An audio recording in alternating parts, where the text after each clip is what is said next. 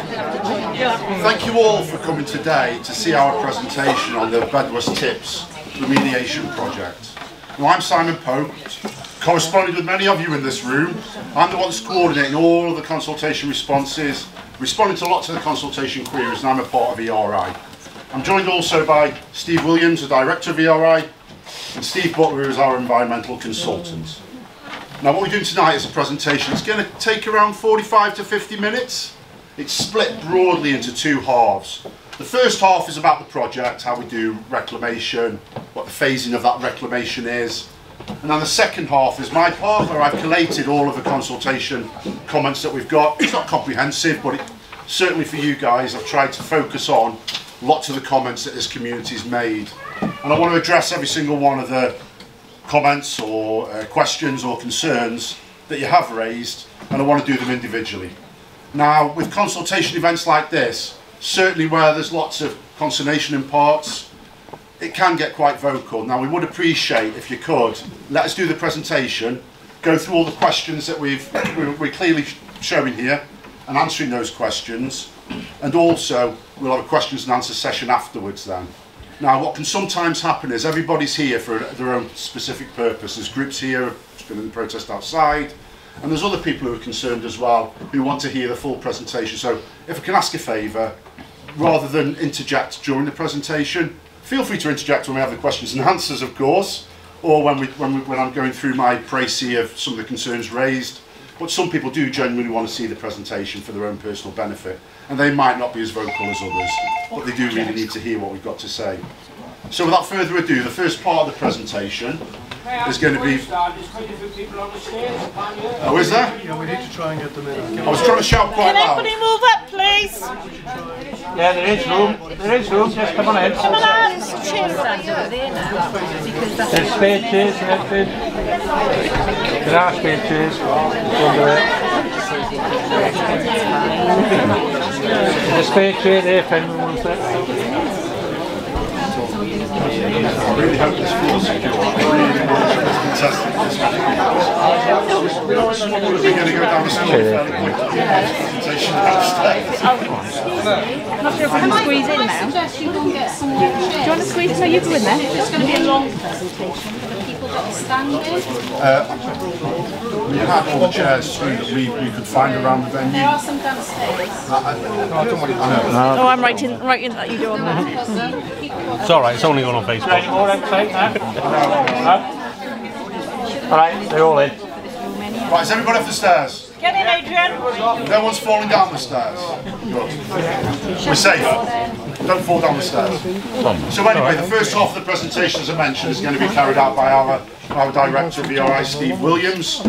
And he's going to explain a little bit about his background before the presentation commences and just where the history of broadly ERI came from.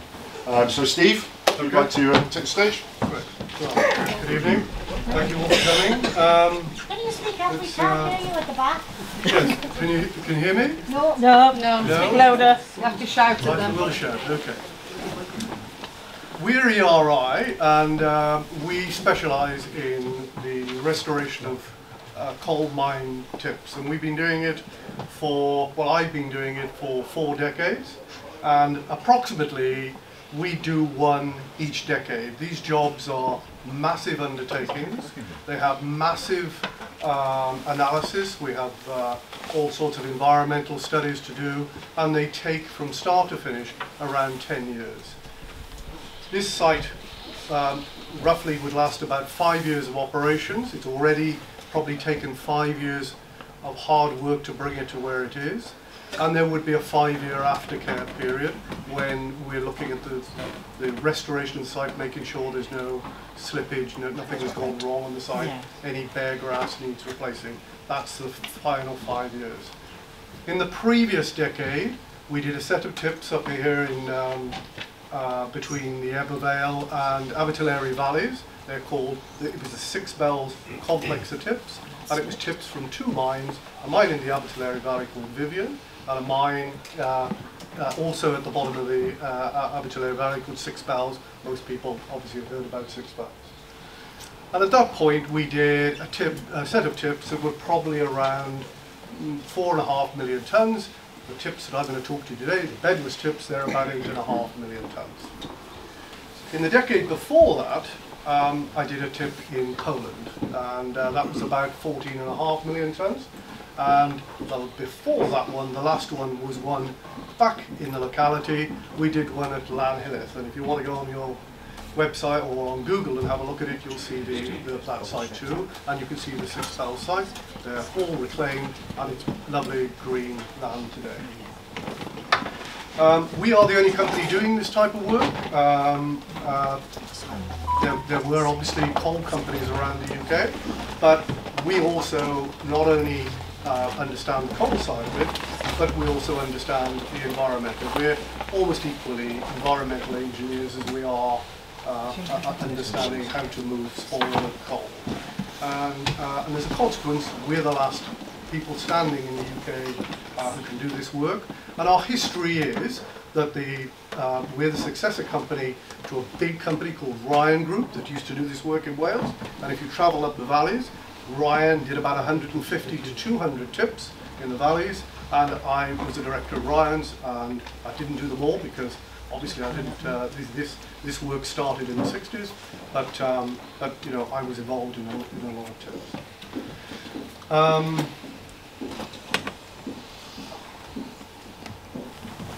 So, Bedwas.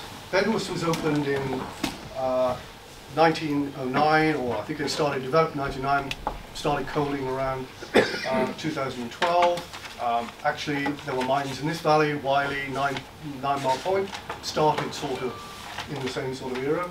And the mine shut in 1985, and essentially there are two tips.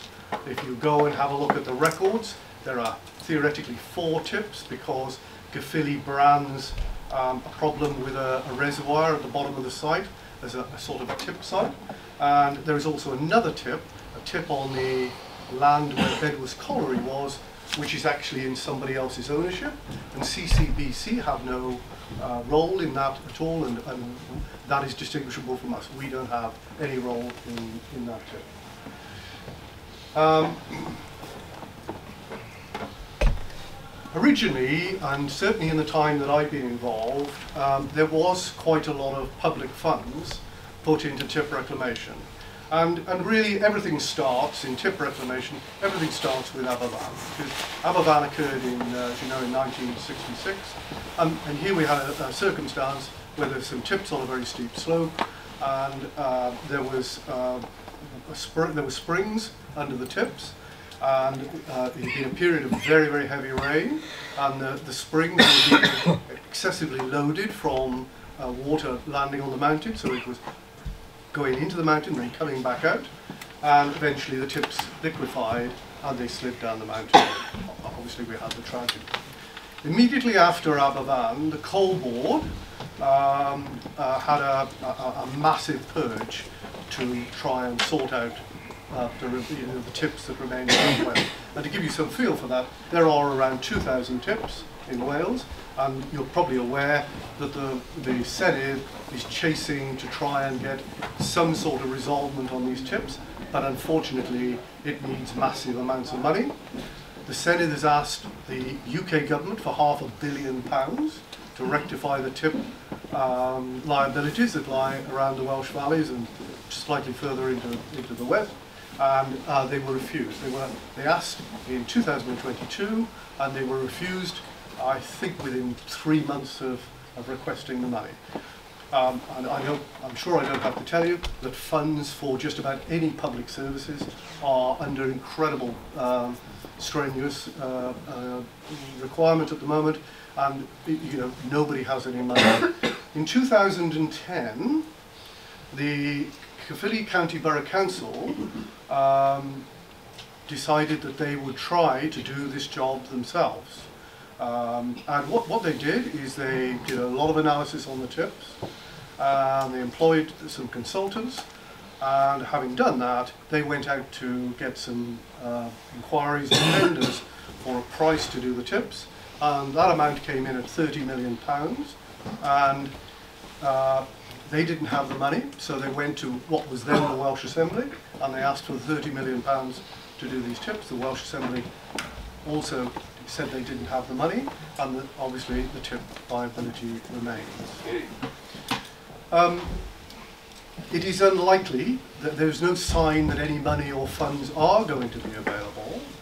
And following the following the um, the, the effort by Caerphilly to look at this in 2010, they actually came to see the site that we were operating at uh, Six Bells uh, and Abertillery. They came to see that site in 2012 because they were interested in was it possible for us to do this job. And uh, we had a look at it, and uh, I know this is going to be of interest to you all as the evening runs on, but the first thing we said to them was we can't see a way of getting the coal that we produce from the tips to pay for the reclamation. We can't see a way of getting that coal offsite. That's what we told them at the time. And, um, but they were, but, but to be fair to them, they kept talking to us and we started over the years to start to look at, you know, could something be done with these tips? Here in Wales, back in the 70s and 80s, public money was available and it was available through really a couple of funding sources. The w, WDA, when it was established in Wales, was set up uh, to do land reclamation because land, reclam uh, land reclamation coming out of the 60s, the, the, the, the spoil across the hillsides, derelict mines, you know, was quite substantial. And actually, a lot of sites were cleaned up with the WDA. And in fact, the WDA invested in my company, and we worked alongside each other to clean up tips in the valleys. And we also worked from another, over this side of the country, we had something called the Gwent Land Reclamation Unit, and it also contributed and even did an odd site, but uh, a small site on their own. So, you know, there, there was a history of public funds coming into that, but right now, with, you know, that money has dried up. And as regards commercial activities to do this work, as I said to you earlier, we really are the last company standing. There's a, a, main objective to tip reclamation today, and uh, tip reclamation techniques have changed dramatically from when the coal board immediately started to do some type of restoration after Aberfan. And what the coal board did is it spread the tips with bulldozers and machines, all the tips around Wales, so that they compacted them. And the reason they compacted the tips, which you do by taking a two or three meter layer of spoil and rolling it with vibratory rollers and bulldozers, what you do when you do that, you stop water coming up from underneath. It seals the tip and stops it coming underneath from underneath. And that was the main civil engineering technique that stabilised the tips in Wales. And, and even at Bedwas, I think sometime, I'm guessing, around the early 70s, it looks to me like maybe half a million tons of spoil was actually re-landscaped at Bedwas. They had another problem with it immediately afterwards, in that they had a fire on the tip of Bedwas. But I understand that that took about three or four weeks to put out with the, um, with the fire brigade, but that's how, that's what they did at, at. Um, what we do today, we are looking basically, our, um, our, our, our um, environmental work is looking to try and generate the grasslands that would have occurred at any site before deposition occurred. Now, obviously, there's a lot of spoil, so it can't, the ground's not going to look the same. It's always going to be higher or width-wise, it's going to be longer. But at the end of the day, the grasslands that sit on top, our efforts are all about trying to create the grasslands and the habitats that occurred before. And the way we do that is we excavate the soils beneath the tips as we, uh, as we excavate the tips, and we store the soils, we bring them back over, and then we plant them with the species that are fit for the valley environment. And, we, and there are companies, a company called British Seed Houses, developed a seed mix, especially for the Welsh valleys, and that's the one that we use on the side of the valleys to try and recreate the, the habitat and the grasses that would occur, mostly today, it's on the ridges. And there's a good reason why we work on the ridges, is that we made a decision 25, 30 years ago that we would never ever again put the tips on any slopes. Because it goes without saying that the slopes are hazardous and you will not find an engineer in the country now, any civil engineering, that would be prepared here or in any other mining um, operations around the world, decent mining operations I probably should say, but any decent mining operations would not put spoil on an incline. It goes with the obvious thought, if something goes wrong, the spoil is going to come down the incline similar to what's happened at Bedwas, and it is still happening in Wales now. There have been two tips of slid over the last five years. Um, you have one in Caerphilly County Borough Council, you have one at Fochriw, uh, which is um, uh, just below Merthyr. That, that tip is slid. It is a big problem to the, the council, and they're trying to tackle ways of dealing with that. And it is a really difficult tip because it is very steep sat on a hillside. It's very steep and it's a really difficult uh, tip to deal with. And there's also one that's heavily in the press at the moment, which is a Tylorstown. Um, the tips in the Rhondda have typically been quite troublesome. There's been quite a lot of problems with tips at the top of Tylorstown, and there was one about two or three years ago at Porth. And so there is a lot of discussion around the Senedd and, uh, and the county councils about how they're dealing with this problem. And deal with it, they are going to do, if they haven't got the funds today, they're going to hope that they get the funds sometime in the future. And I say to you, if you don't like me, that's fair enough. But these tips are going to get reclaimed because, you know, they are a danger. And they have been ranked, the Bedwas tips have been ranked in the highest risk category in Wales. That's, they call it category D. And you, uh, your councillors, uh, your, your council is extremely worried about that. The Senedd have recently done a complete uh, inventory or study of all the tips in Wales, and they have classed these tips in exactly the same category. And if you've got other civil engineers, they will do the same. This is our last site, and it's just a, a couple of photographs for you.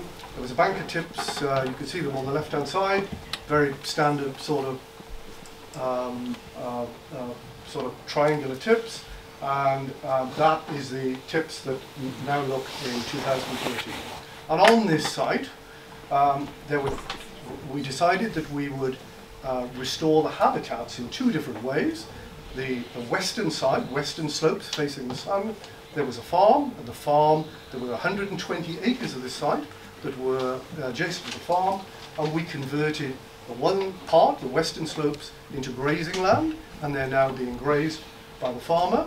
And we created on, on, the, on the uh, eastern slopes. How can we- that be the same photo when it's mature trees but there then? Well, they've obviously been taken from a Well, it's not different obvious at all. Five years it? later, uh, It's just, it's just a, a Yeah. different photo than that. five years later. Yeah, okay, no, I just want to point it out, that's all. well, okay. There's mature trees there. I like it. Thank you. Yeah. Uh, on the other on the other part of the site, we restored the land to moor, and that and that today is uh, basically it's acid upland grassland, and and and the site that we restored there has actually got hundred pairs of skylarks nesting in it today.